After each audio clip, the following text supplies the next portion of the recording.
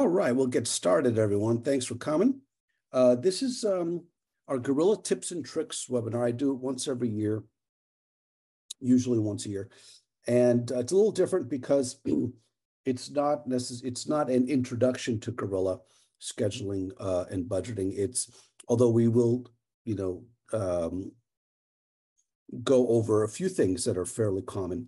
But for the most part, I'm just going to go over some uh, some things in Gorilla that people usually don't either know about, actually things that might not even be in the manual.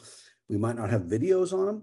It's just sort of like a, um, I mean, I'm not saying we don't, but uh, these are some of the things that will help you um, use the software uh, and make it a little bit easier to to get around and do certain little shortcuts and things like that that you might not know about. Okay, so um, as I go through the uh, the uh, the webinar, feel free to chat in a question if you have a question, um, and we'll have a Q and A at the end also, of course.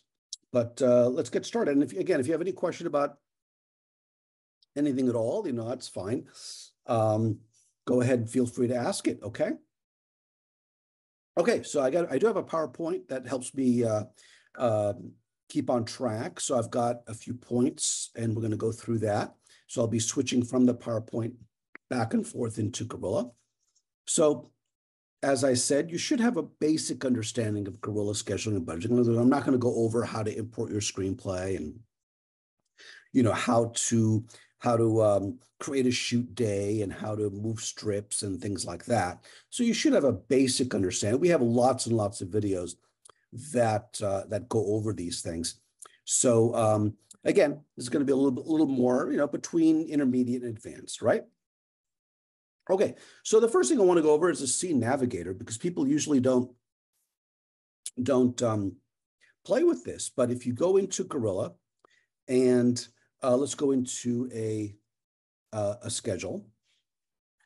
And on the right-hand side here, this is what we call our scene navigator. And of course, you probably know that you can click on it and go to a different scene.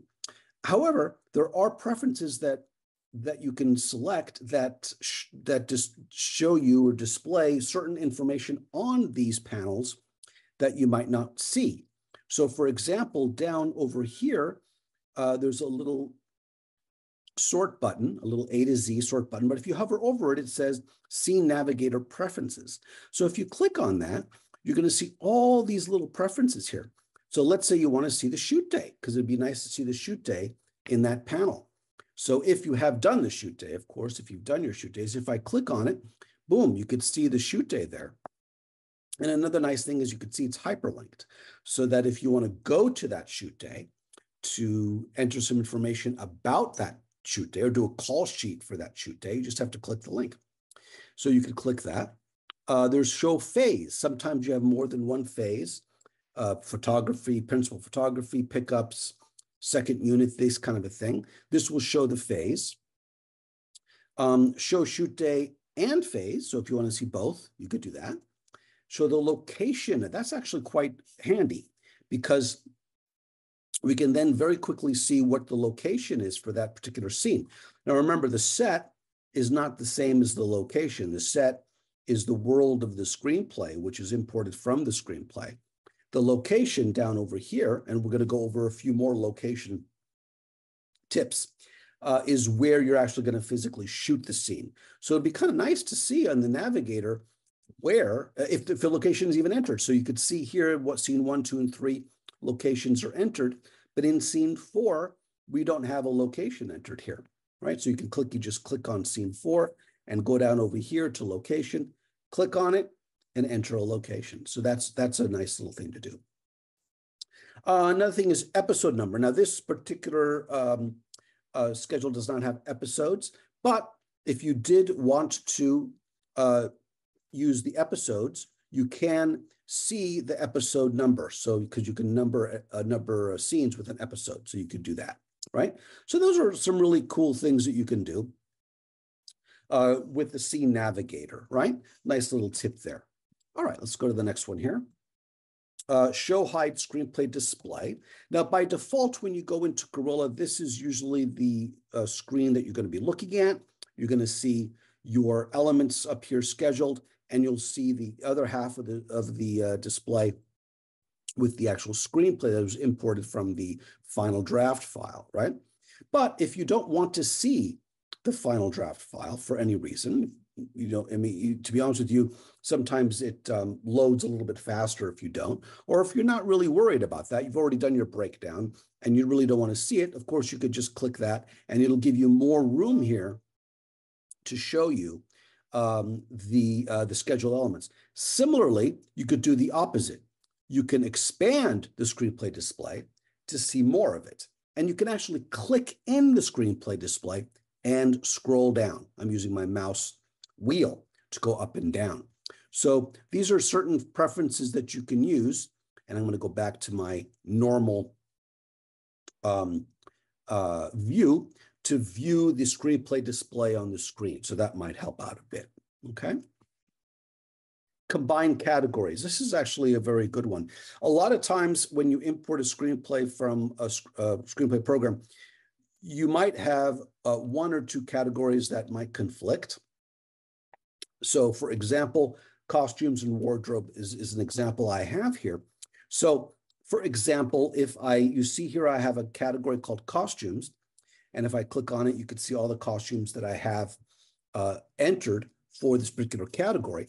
But I also have one called wardrobe. And you go down here and you see pink scarf and blue scarf is part of wardrobe. Now, to be honest with you, I mean, if you want to keep two, both categories, you certainly can, but it could be confusing.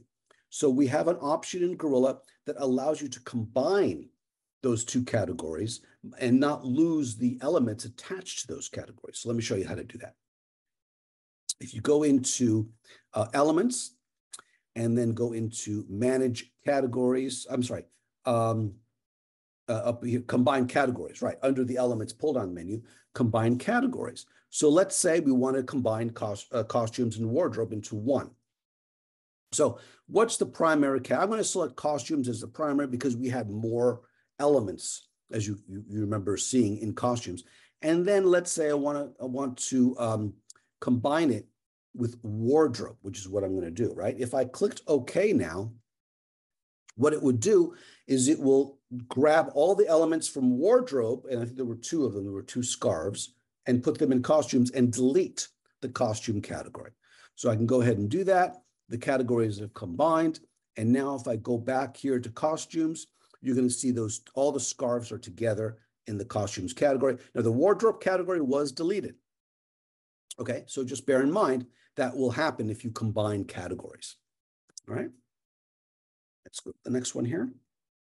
Um, hide categories. Oh, okay. So this one, uh, this one uh, you can't really see, but if you click on the three dots down here and say create modify categories, if I were to turn these on, these are untitled, right? And then close this up, uh, you could see these categories here. So similarly, if I want to go in and hide certain categories, so let's say you don't want to see that, you're not deleting it by doing this, you're just hiding it, right? So example um, is let's say livestock, we this particular uh, schedule might not need livestock, it might not need animal handler. So I can click that, which doesn't delete it, it just hides it, right? So if I close this up now, you can see I've got a little more room here, a little more easier to manage, and animal handler is no longer there. It's not deleted, it's just hidden from view. Okay, that's a cool little uh, thing there to do.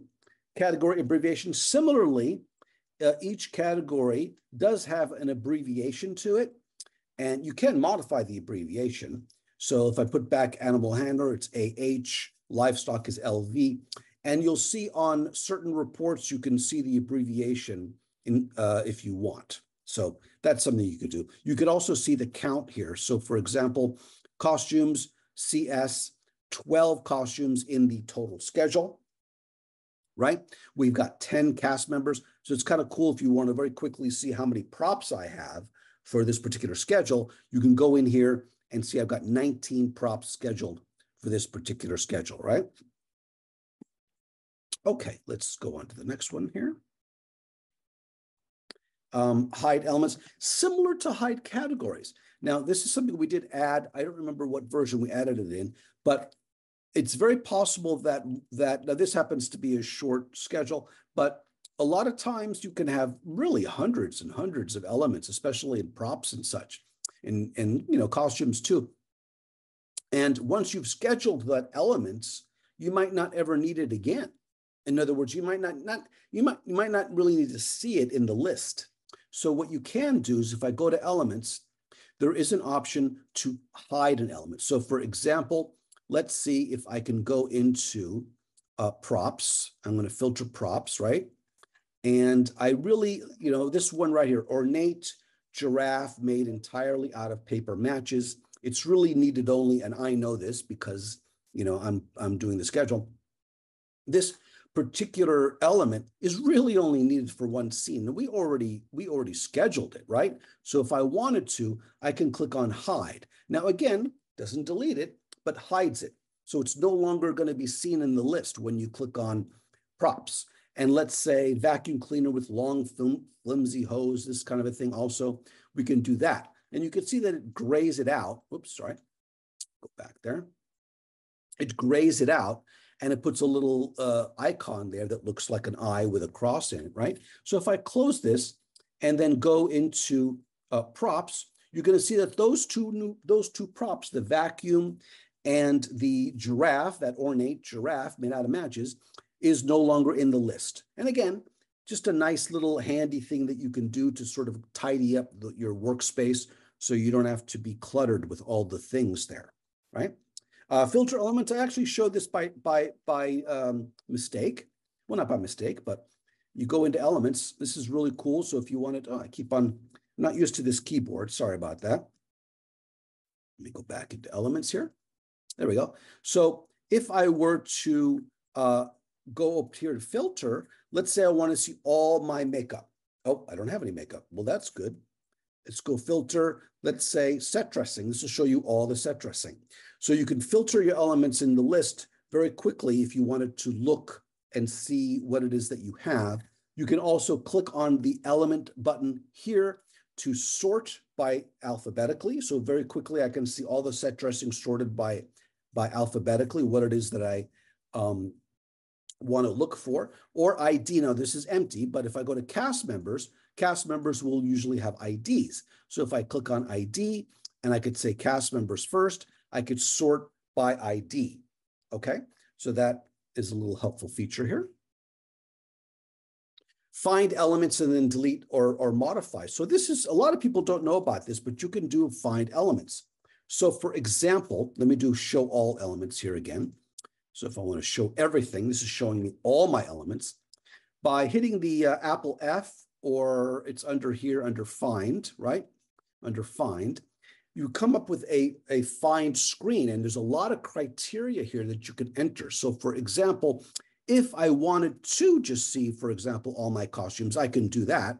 But of course, that's the same as the filter, right? And I click on perform find. But you look at, we, we have a different view here of the list. We have a little bit more information. We've got the rate here, we've got the description, and we can literally click on an element to go to it. So now we go to the detail of the scarf, which is kind of cool.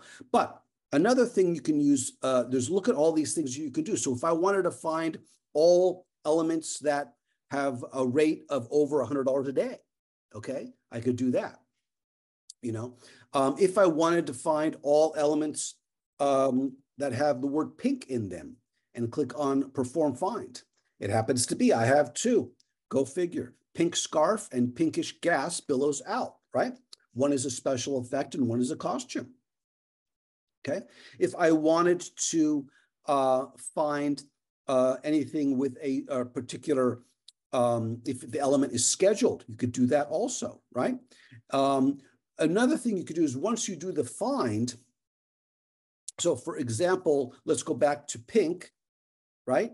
And do a perform find. I could do another request, by the way, too. That's kind of cool. So anything pink and also anything uh, with, uh, I know that I have, uh, I'm just, I'm cheating because I'm looking on the left here, anything with the word plunger, okay? And I do perform find, it's gonna find anything pink and and anything uh, with with uh, uh, uh, the word plunger in it. And then once you have the list, you literally, now this is another cool feature. Notice there's, it says delete found elements. So I can literally delete them all, just those three, by clicking delete found elements. Okay, so that's that's a feature most people don't know about. Uh, I got a question here. Uh, how would you do, uh, oh, over certain dollars? Okay, so you, you just use the, um, the greater than symbol, right? So uh, for example, um, if I were, let me just check to see, see vehicles info. Uh, let's say the daily rate here is 1000 for the Mercedes, right? And if I go to find, and I think I put data rate, you put greater than, you know, 500 or 400 or whatever, and then it would find it. So greater than would be, uh, you know, greater than or less than, right? Just the greater, it's a simple algebraic math, right? So that's how you would do that. Okay, yes, of course. All right, let's go on to the next one now. Uh, re remove, oh, this is something we actually added in version eight. Um, you would think remove scheduled elements. So what this allows you to do, okay, put it this way.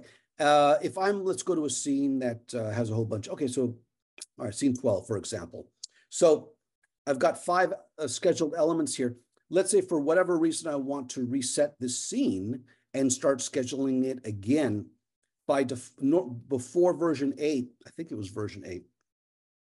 I would have to go here and say delete and then delete, and you could see what a pain in the ass that is. If I have 30 or 40 elements here, and I did delete, delete, delete, delete, it could be a real pain in the butt. But now we have remove scheduled elements from breakdown sheet, and it removes all of them in one shot. And so what this allows you to do is, okay, let me reset and let me go back and now, you know, re redo my schedule for this particular scene. Now it doesn't delete the elements, it just removes them from the sheet. So whatever I had there, there was some set dressing, and I think there was a cast member, Amanda, this kind of thing. She's still there. So if I go back and put Amanda in here, I could do that. I'm re re recreating the scene per se, right?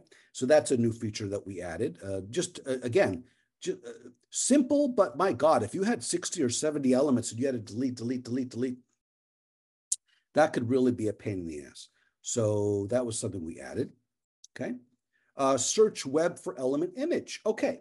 This is kind of cool. So you probably know that, again, we're going to go back into elements you can uh, put an, Im an element image, right, to a particular uh, element. So for example, the Mercedes is a good example. Grab this, uh, this image. So let's say I want to go to, let's see here. Let me show uh, props. And let's see, large glass jar. Okay, there's a good example. So let's see now, we go to info here. Now, I can grab an image and put it in here. But this is a cool feature here that what we can do is search the internet for um, a large glass jar. So if I click this button, what it's going to do is it's going to go out to the internet right now on Google search and search large glass jar. And you could see there's, you know, this is just Google, right? So if I like this one, I can right click it. I could copy the image. I can close my browser here and then I could do paste. That's really simple, right? So if I wanted to be able to br bring in a, a, a, picture or an image of a certain element, like a vacuum cleaner, I think I had, or a cupcake or whatever there, rolling pin, plunger, you can literally just go, you, you go to the element first, right? So I think I have cupcakes. What else do I not have? Um, olive. Okay. I mean, I don't know why you'd want a picture of olive, but who knows? You know, my goodness. This is just, this happens to be just uh, props, right? But let's do maybe costumes, right? Maybe just we do costumes. Um, uh, white sandals. Okay, well, let's see. Let's see. Let's see. I haven't done this one yet. Let's just give it a shot. Again, it searches on the name, right? So if I click white sandals, and again, it's just a Google search, right? All right, perfect. That's exactly what I want, right? Uh, I could copy that, or maybe this one or whatever. I don't know. But you copy it, right click it, copy it, and, and pop it in there. Okay, so that's kind of cool. All right. Let's go to the next one. Uh, export data. This is a very generalized one, but in Gorilla, you can uh, export just about anything that you import for the most part. So I'll show you, for example, elements, since we're on elements. And that's usually done under the file pull down menu, right? So if you go to file, um, you could see that you could export elements. If I was in crew or in actors or in breakdown sheets, I would go to file and it would say export breakdown sheets, right? So if I click on export elements, I can then say, well, what category do you want to export? Let's say I want to export all my props, right? I click that, I click, I enter the name props. Let's say I want it to be Excel. I want to automatically open the file and click save. And what that's, of course, you have to have Excel. Uh, it looks like I'm my Excel subscription. Why isn't it not there? There it goes. Okay, perfect. Yay. I pay my I pay my monthly subscription. Okay, so you can see that very quickly my props are in an Excel spreadsheet, and then I can do whatever I want with them, right? Okay, and you could do that. Now that just happens to be with elements. If I go into uh, breakdown sheets, which is right here, file, export breakdown sheets to Excel, same thing, right? If I click that, this is actually gives you a little preview of what it's gonna look like. And I click on this little export button, it will export this entire, all the data here to an Excel file and just open it up immediately. Uh, can you do multiple categories? Uh, for elements, let's see, if you go to elements, um, export elements, you probably have to do them one at a time. Uh, I mean, you could do, you know, uh, props, you could do, you just have to do different files, then combine them in Excel. It doesn't look like we have a, a select all in this particular section, but um, again, if I wanted to do makeup now and livestock, whatever, I would just have to uh, to open, you know, create the Excel file, copy paste. So so a little bit of work there if you need to do that. Okay, okay, okay. Let's see. What's the next one? Uh, import crew. This is actually very good too, because a lot of times when you are creating a schedule, and especially a schedule, you use the, sometimes people use the same crew in different projects. So I happen to have two projects here and these, these crew members are already entered. But let's say I wanted to import crew from an Excel file. I can click on uh, from an Excel file or from another schedule. So if I wanted to click on from a text Excel file, if I set up my Excel file uh, to look something like this, now you don't, it looks kind of scary, but all you really need is the first name and the last name. You don't have to do everything else. This is showing you just in case you want to do city, state, email, phone, uh, uh, title, and department. You can. But of course, you can do all that in Gorilla too, once you get that data in there. So you can actually create an Excel spreadsheet or get have someone send you an Excel spreadsheet of all the crew, because a lot of times people will have an Excel spreadsheet of all their crew and then import all that data into Gorilla. So you don't have to type it in manually.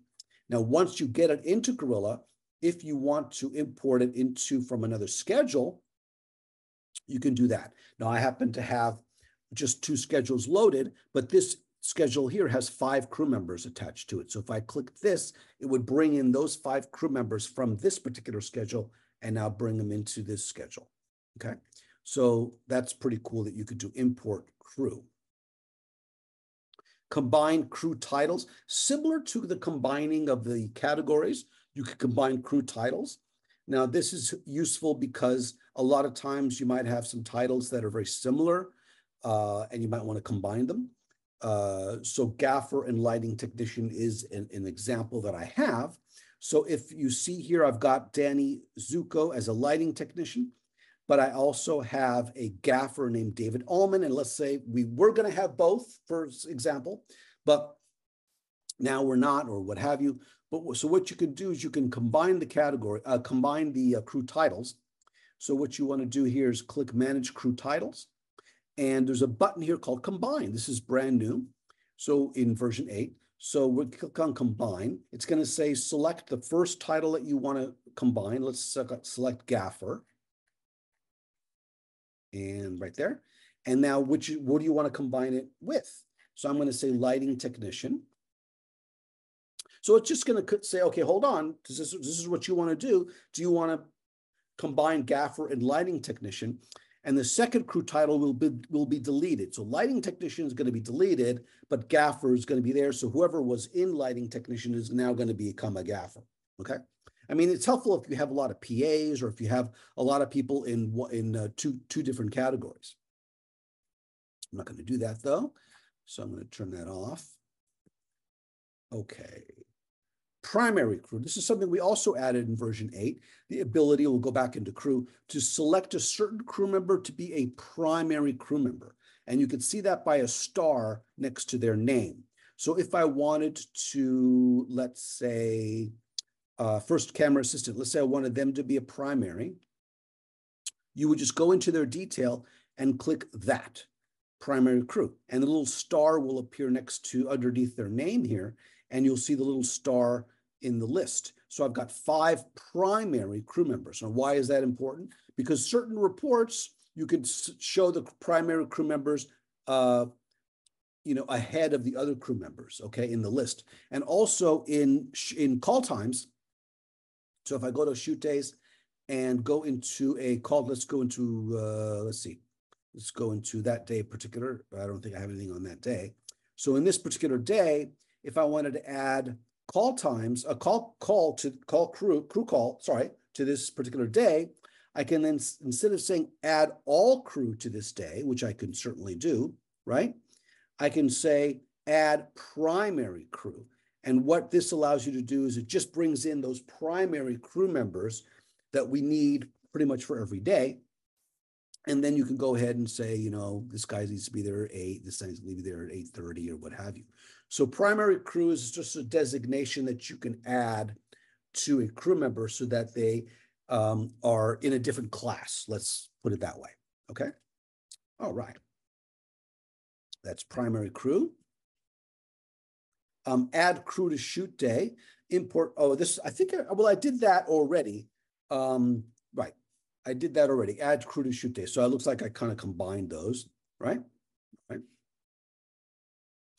Do locations, okay, so this is not so much a, um, uh, well, it is a tip, that's for sure but um, incredibly important to do locations before you do your strip board. Okay, and we talked a little bit about locations earlier, so let's let me show you why why this is so important to do this. When you import your screenplay from Final Draft or whatever screenplay uh, program you're using, the, the, the, the location, of course, does not come in. The set comes in, right?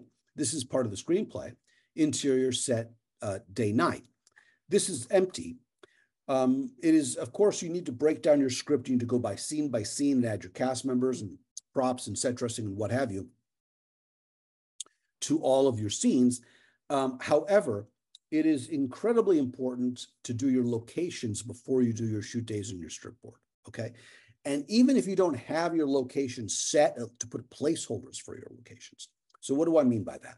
So, let's do this. Let's click on the locations button. And I happen to have, um, there's a video here, right? I happen to have four or five or six locations here that I've already created and you know you can uh, put a uh, import an image for that location if you want. So let's say Sam's Diner on Main Street is, is an example. I click on info and I've created a location. I literally created a physical location that we're going to shoot. Here's the address. Uh, here's the budget. Uh, here's the contact. Here's some photos, right? So once I've created, and let's say I don't even know necessarily if I, but I need a diner and I don't necessarily have the location right? What you can do is literally just say diner TBD, right? You could certainly do that, TBD.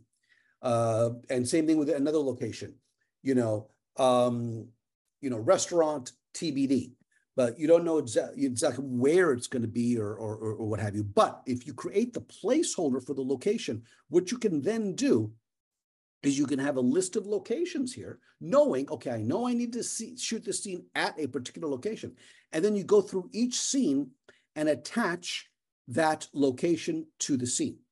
Okay. So, for example, kitchenette, we're, we're, this is an actual physical apartment, right? So I click here, Amanda's apartment. We are shooting the kitchenette scene, which is scene 13, uh, 12, sorry, at the physical location, Amanda's apartment. Uh, we are shooting, I'm going to go to scene two, this Hollywood set, wherever this, you know, set on uh, at Sam's Diner on Main Street, or if it's TBD, it might say TBD. Okay, why that? Why do that?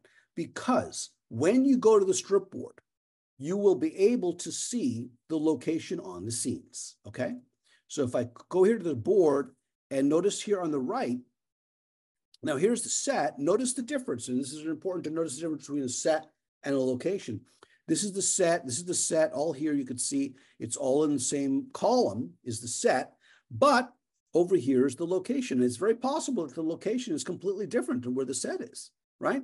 So here I have Sam's Diner here, uh, scene two and scene three, but why are we shooting them in two different two different days, right? Now that I know that these two are the same location, let's move it move it so that we can we can shoot it the same day. Okay, so that's why doing the location uh, for each breakdown sheet is incredibly important, right? Okay. Hope that makes sense. Do your locations before you do your strip board. All right.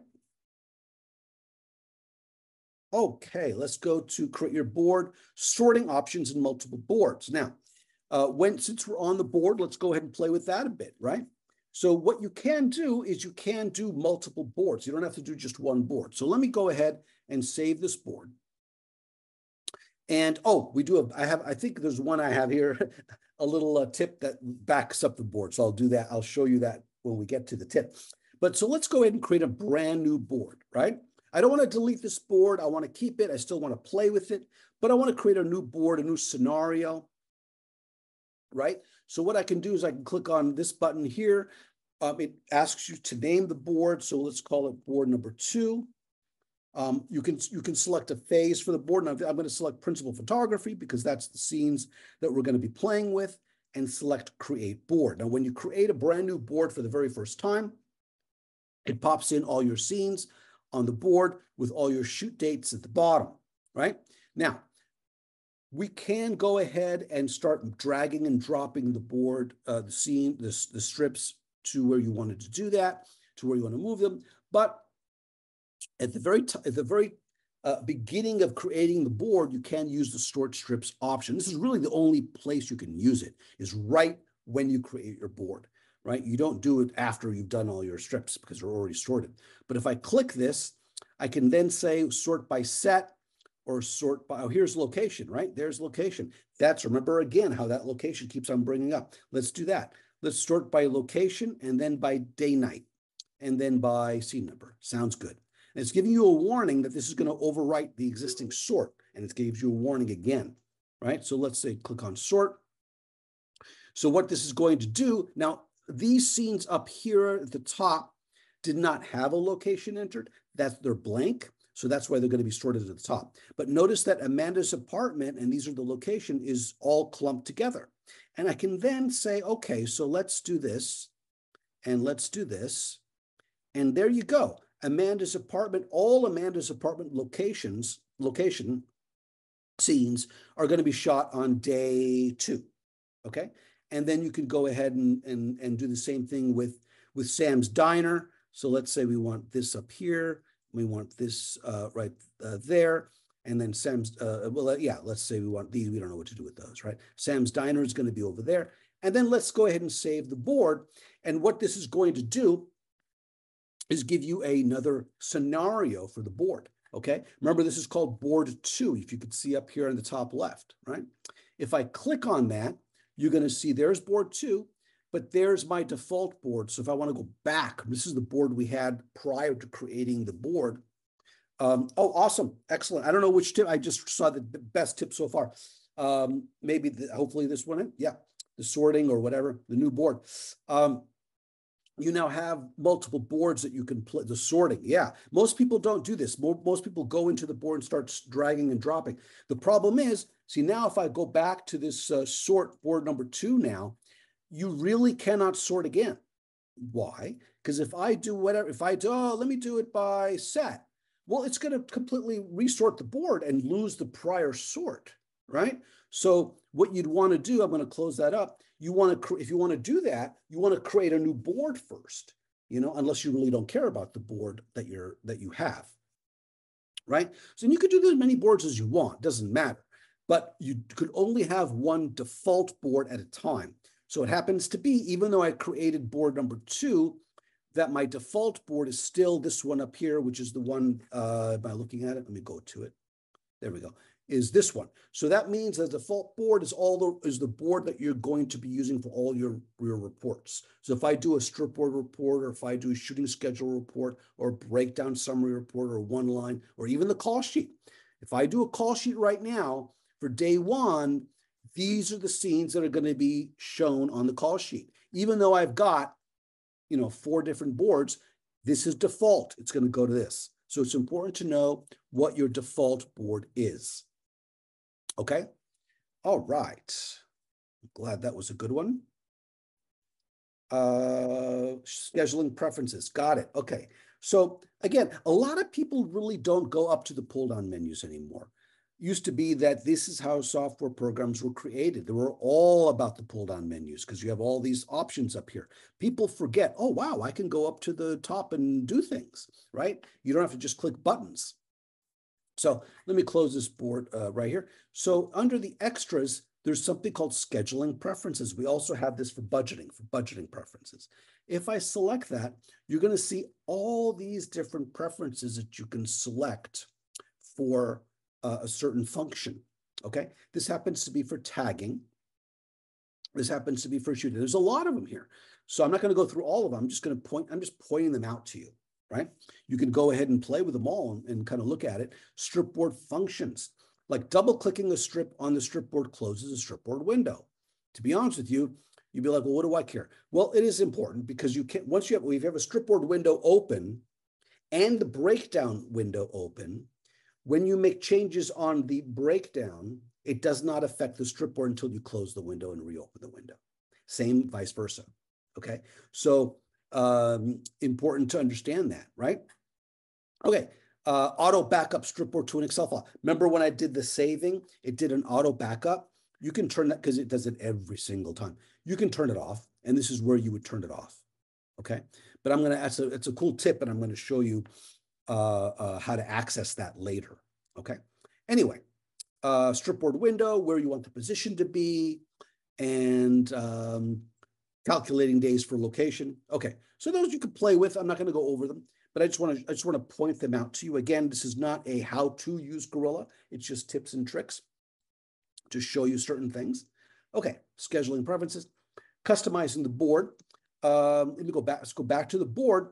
And when you are, not only can you do uh, different different scenarios, right, for the board, but you can actually change the look and look of the board right? So right now you can see that I've got the scenes here and the set here and location there. And the second line, I've got the page count and the synopsis. But if I wanted to move that around a little bit, this button right here, the stripboard print design window, allows you to go in. And again, we have a video on that, as you can see. But what this allows you to do, and it's a little, little um, scary to look at, but to be honest with you, it's pretty simple. Uh, this just turns on and off certain fields. So if you do not want the IE field, the interior exterior field for some reason to show, you could turn that off. If you don't want the synopsis to show for some reason, you could turn that off. Or you can tell it where to place, place it, either, either row A or row B. And you can also have the option to do labels. So if I look at, for example, right here, scenes, scenes, that's a label, right? Uh, do I have any more? Oh, yeah, I have, uh, oh, sheet is turned off. You see that? If I were to turn that on, notice sheet number pops in. That actually should be turned on because it's an active, an active um, field, right?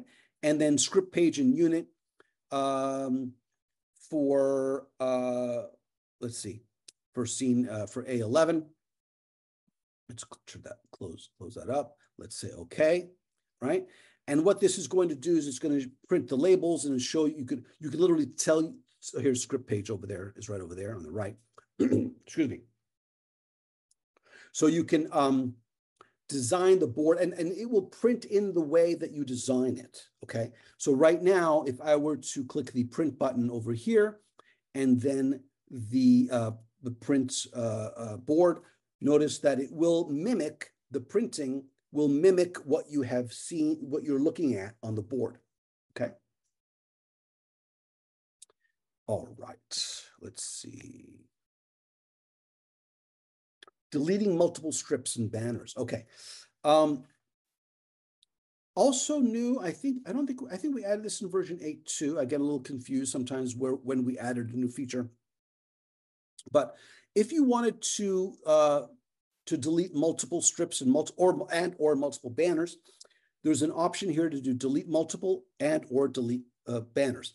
So if I were to click delete multiple strips, it just brings you another window here, and there's a little X button, excuse me, next to the strip. So if I were to click delete, delete, delete, delete, I could do this very, very quickly and delete, as you can see, a whole bunch of stuff. Now, again, it doesn't remove the scene, it doesn't delete the scene. It just deletes the, uh, removes it from the strip board, right? So you can see those stream, those scenes are now gone. You can add them in again by clicking the add button up here, and then you could go ahead and add those scenes again to the board if you wanted to. The same with banners. I go to delete multiple banners, I only have two here. There's a company move one right there and night shoot. Where's that? Right there, night shoot, 8 p.m. So before, if you wanted to delete a banner, you have to do it one at a time. Now you can go ahead and delete multiple banners. Okay. Okay, let's close that. Let's go next to the next one. Add, I actually showed you that, add scene to the board. That was brand new. Auto save stripboard to Excel. So when every time you do save, it does pop up a little message there. And let me show you what that does. That will, um, let me see where that is here. Um, auto save board, it's in here somewhere. Backup stripboards, there we go. Every time you do the save of the board, you will see an Excel file that's created. It just takes a couple seconds that backs it, uh, that that gives you an Excel backup of the board, right? So um, I'm not sure which is the latest one here today, 231. Okay, that was 231. So this is uh, if I just click on the space bar to show it to you, it's just an Excel, but you've got a backup of your board here in case you you make a mistake or you mess up and you can recreate your board based on the backup if needed, right? And all these, I mean, yeah, there we go. That's a different one, right? That's a different one. And then board number two, that was the different board that I created, right? The second board, right? So you could see that. So that's kind of cool. And again, that you could turn that off in preferences. So if you don't want to see that error over and over and over, not error, I'm sorry, that message over and over again, you could turn it off. Main location. So again, we're going back to location. This is a cool feature we added in version 8, which allows you to set um, a main location for a shoot day. What does that mean? So when you do a call sheet, you usually have more than one scene being shot for the day, right? Usually, not all, all the time. But if you do, uh, sometimes a scene can have a different location. So you might have two scenes or three scenes or four scenes, and you might literally have three or four different locations. I mean, that's a lot to move to move around in a day. But let's say, for example, if I go to scene one, this is location Beverly Hills set, and you could see that, um, uh, yeah, Beverly Hills, Beverly set. And notice this button here. This is brand new in version eight. It says main location. Okay. If I go to scene two, it just happens to be I know that scene one and scene two are being shot on the same day. I've got a different location and it doesn't say main location, right? So let me show you what that means. If I go to the call sheet, and we go into shoot days and go to the first day because I know the first day is going to be, we're going to shoot scene one and scene two, right? So let's go into scene one. Uh, I'm sorry, day one. And we're going to go into uh, this tab here, which is weather hospital parking which shows you the location. So notice here for scene one, I'm sorry, day one, right? Beverly Hills set, and here's the location uh, address, is entered because it says main location for the day, right? Okay, why is that important? Because if I print a call sheet right now, And I'm going to just print one real quick just to uh, show you what shows up on the call sheet. Okay. We're going to see right here, location, that's the Beverly Hills location. All right. Even though if I scroll down a bit, location and address info, notice that two locations are entered. Will the Beverly Hills set location and Sam's Diner. Why? Because we're shooting scenes one and two, and I guess now three, on day one. Scene one is the Beverly Hills location, and scene two is the, I'll answer that koala call sheets uh, question in a minute. And scene two is the um, uh, Sam's Diner, right?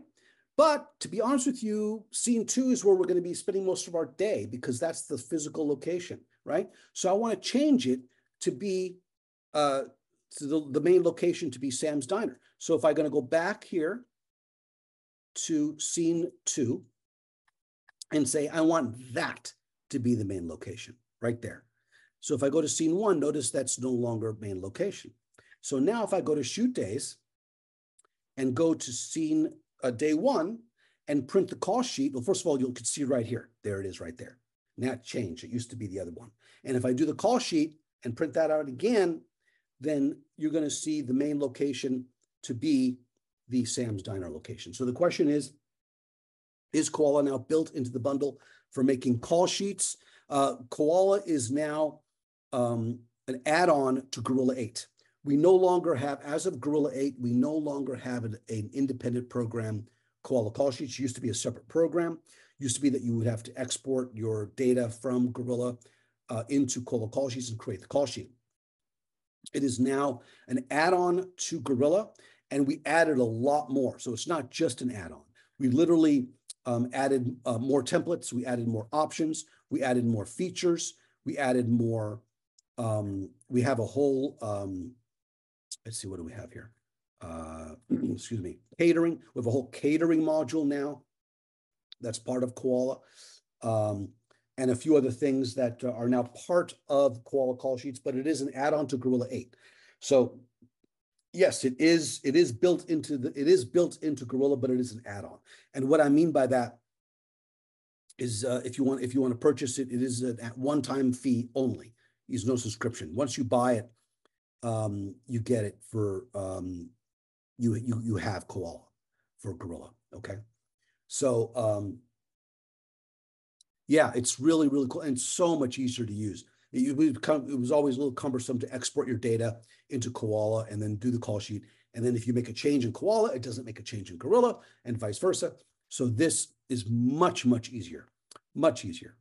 Okay. All right, let's see. Um, main location, saving schedules. Okay. This is just a general say about saving, okay? So I'm going to explain just very quickly on how Gorilla works when it comes to saving. So when, if I were to quit Gorilla right now, literally quit Gorilla with all the changes that I made, everything is saved. If I literally shut down Gorilla now, aside from saving the board when I click on the board, because saving the board is a separate thing.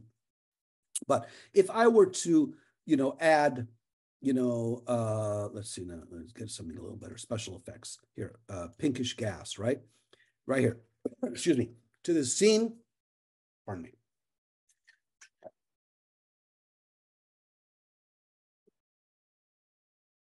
Right now, if I were to quit, Gorilla saves all your work. Okay, under just understand that. However, it does Gorilla does, and I'm going to go down here to the little preferences backup. Um, can give you reminders every, and you could set the, set it up to be one hour or two hours or three hours or whatever. By default, it's one hour. Pop up reminders. Good time to save Gorilla. Good time to save Gorilla. It's um, again, Gorilla already saves your work as you go. It's a backup. So when you create backups, it's literally that. Okay. So it does not um, so if I were to go into, let me hide Gorilla here. I don't know if I have any here, be honest with you, but it saves them in right here, right here. I don't have any. Okay, let me do it. Let me do it real quick. So let's say go here, documents, and save. Okay, so now what I'm doing now is I'm saving my schedule to my documents folder. So it, what it's really doing, it's creating a backup. Okay, and what I mean by that is if I hide Gorilla, there we go. Notice it wasn't there before. There it is, and that's a backup of your schedule.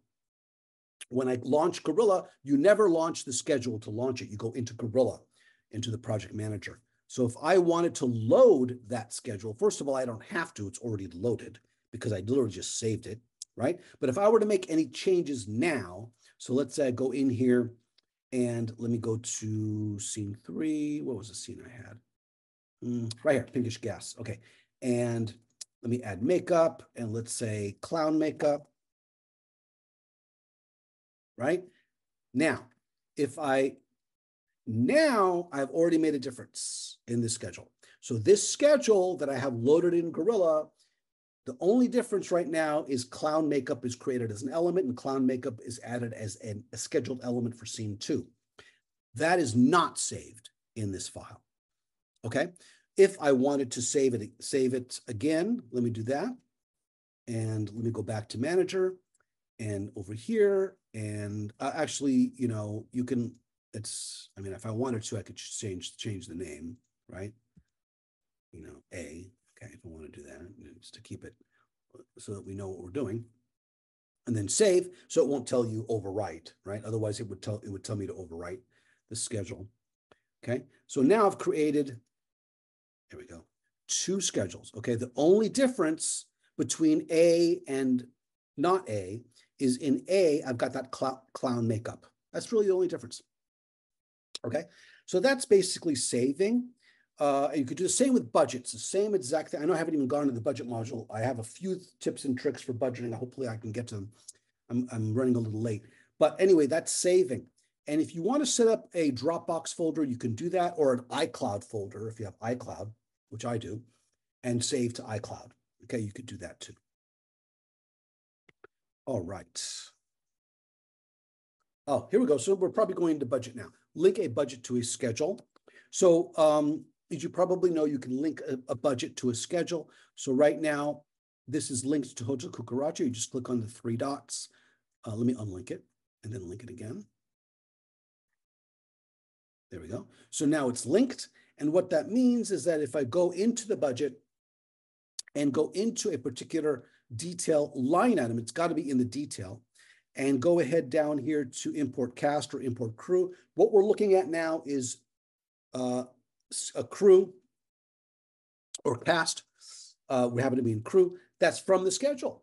This is not in the budget. What I'm looking at right now, all of this information here, including the shoot days, including the rates, you might think it's part of the budget. It's not, right? It's part of the schedule. And if I wanted to import Dina, I can do that. And now Dina is is imported into the uh, into the budget, and there, she's hyperlinked. That's brand new too in version eight.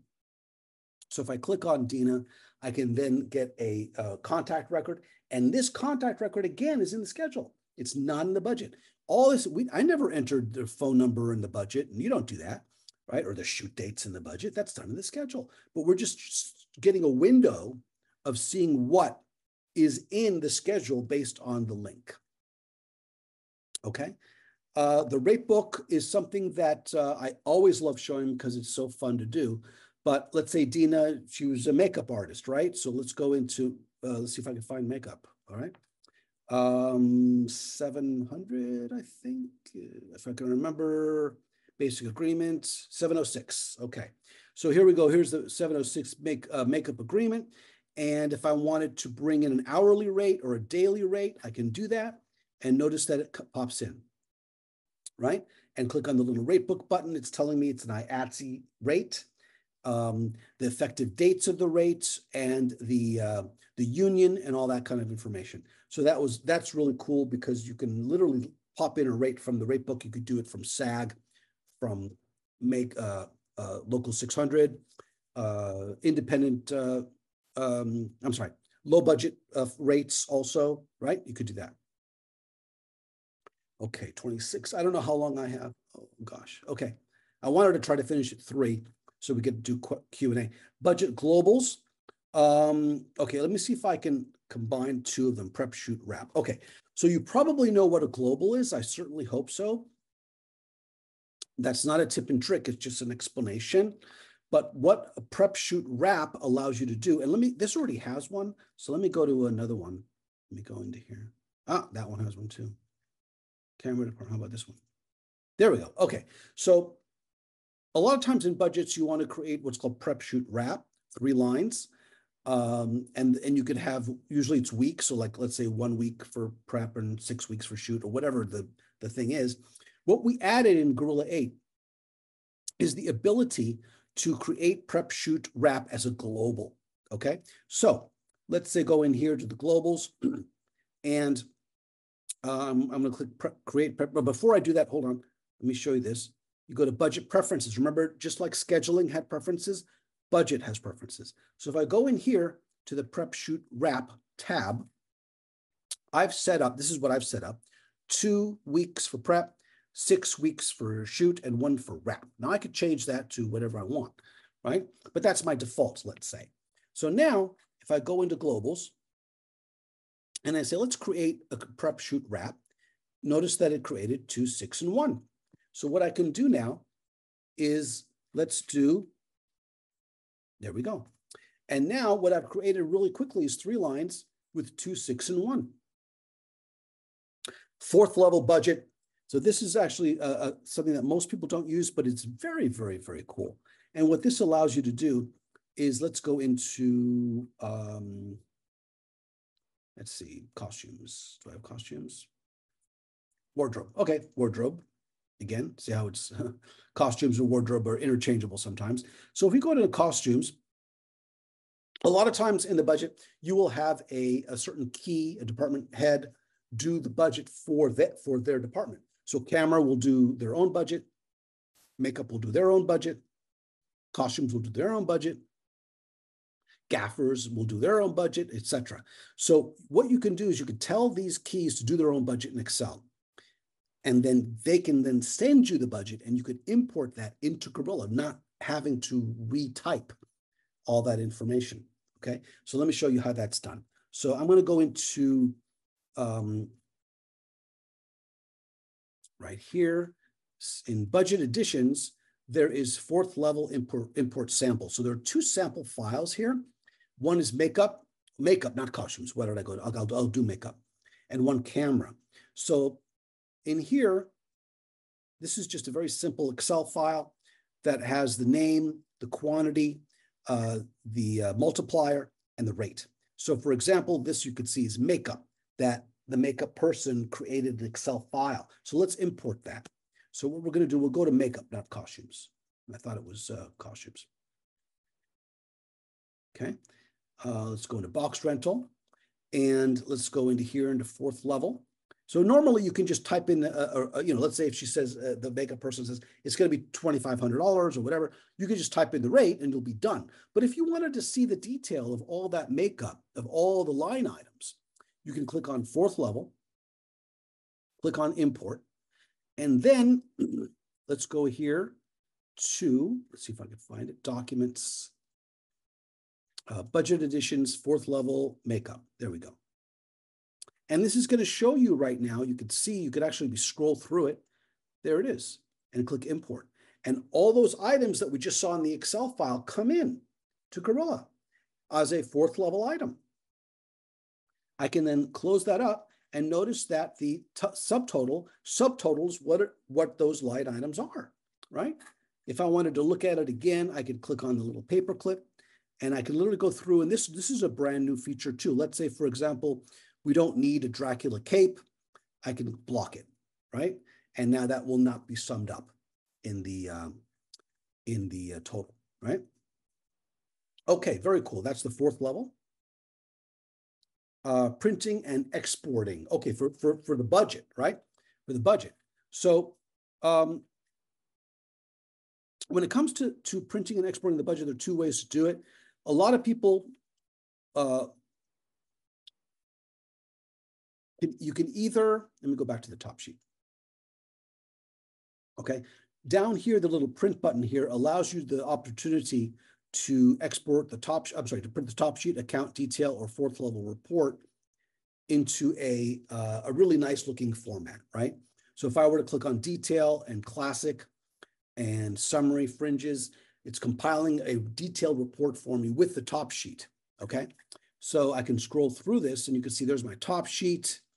There's my detailed report and it's pretty detailed as you can see.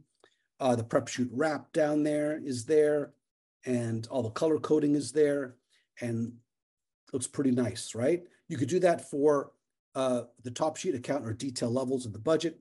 You can also, if you want to, and let me go to, um, let's see, let's see, let's see.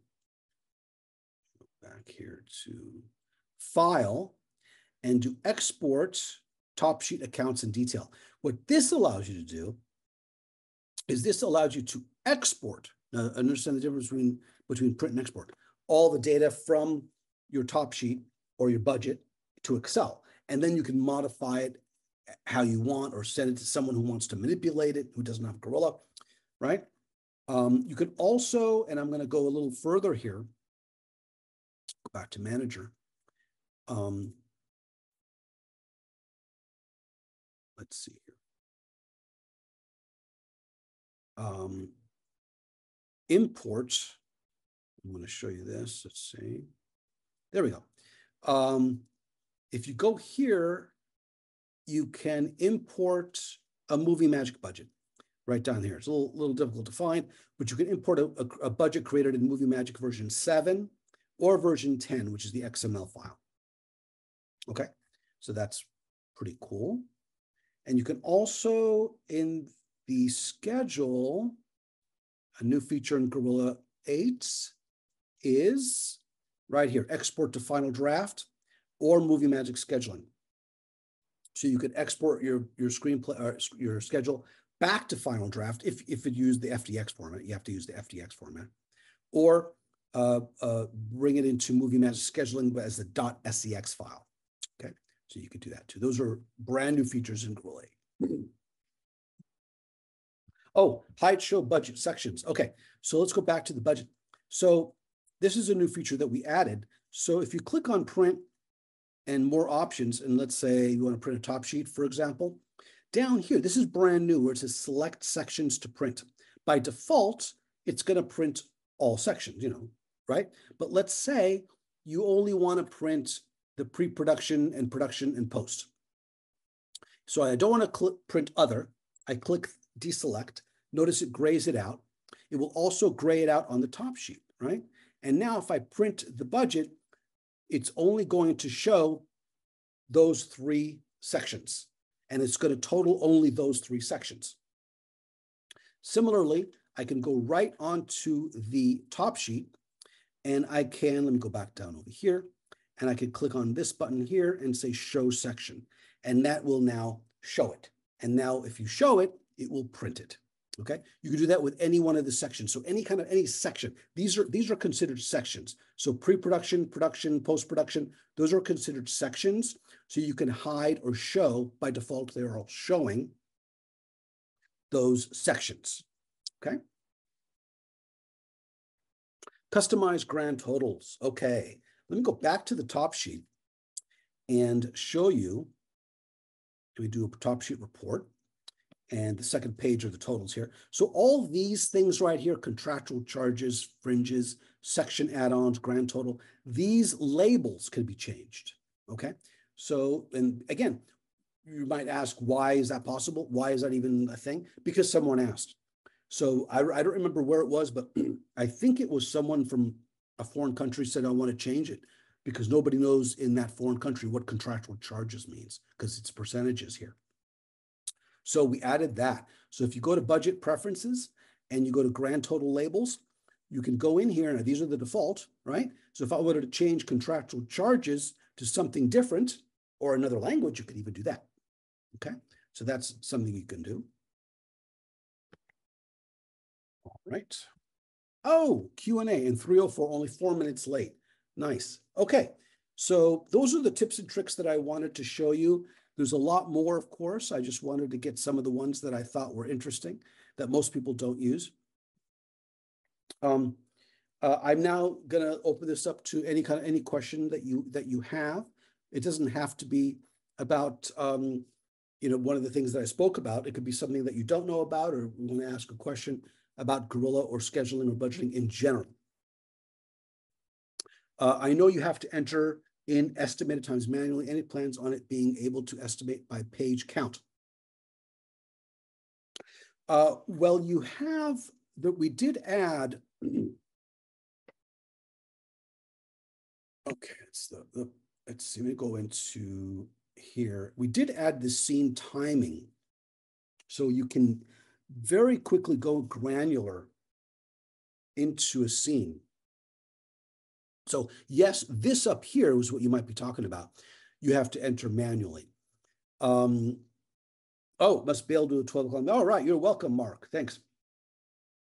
But here, you can literally go through and line by line say, I want to prep the lighting, I want to block the scene, and put in an hour or 30 minutes.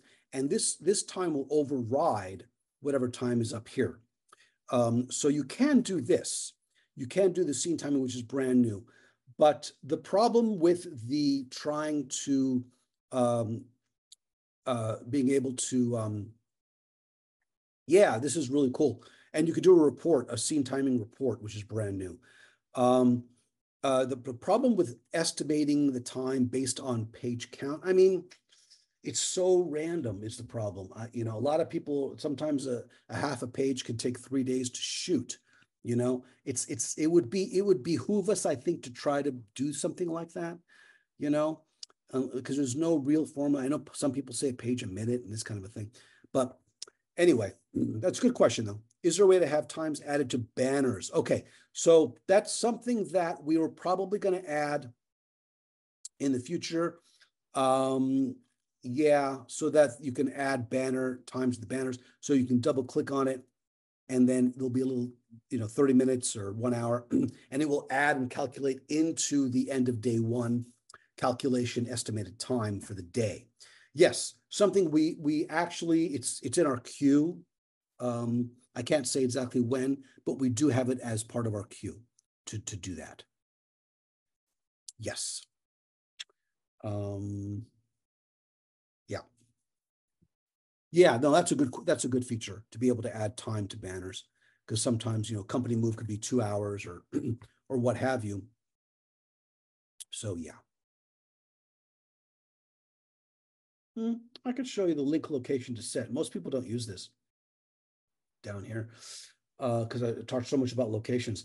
What this option, this though we've had this for a while, but I don't think most people use it. Um, what this allows you to do is link a location to a set example. So link the location. Remember, I already created these locations, right? So Amanda's apartment to all instances of interior Amanda's bedroom. Okay.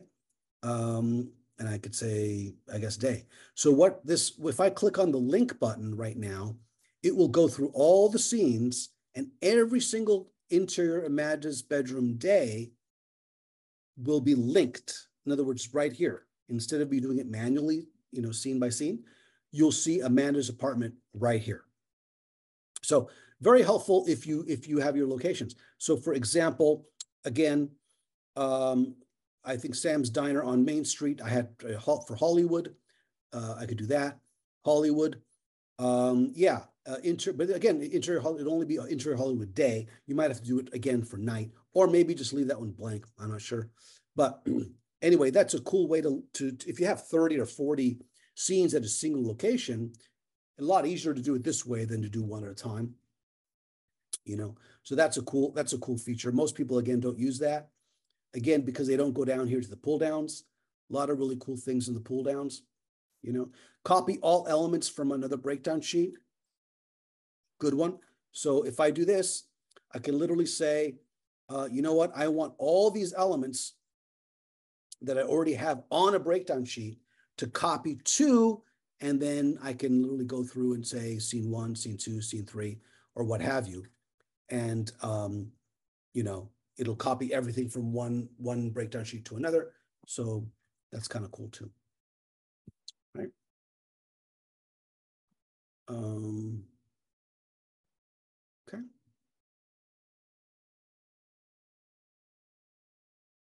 All right. Excellent. So, um, yeah, if there's no more questions, I'll wrap it up. Uh, again, if you do have any questions, just email me or email us or chat chat them in. And uh, hope hope hope you guys enjoyed it. You're welcome.